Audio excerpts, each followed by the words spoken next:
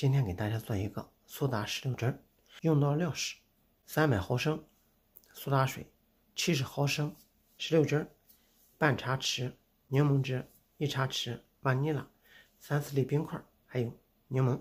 首先将柠檬汁、万尼拉还有石榴汁混合，然后杯入倒入冰块。首先倒入苏打水。然后将混合好的石榴汁倒入，再加一个柠檬，往旁边装饰一下。